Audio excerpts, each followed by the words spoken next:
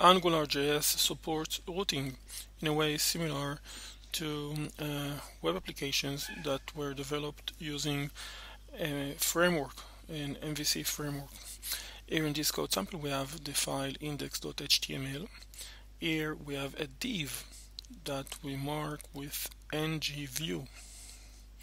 Here we specify that there is another file, its name is application.js, where we can find the JavaScript code of this application.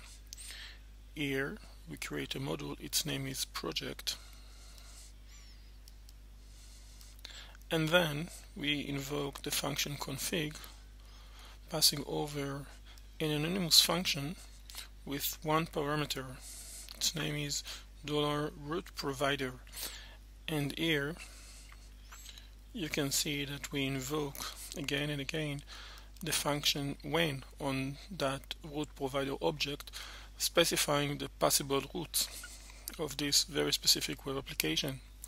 Here we use simple HTML files as templates for each one of the routes.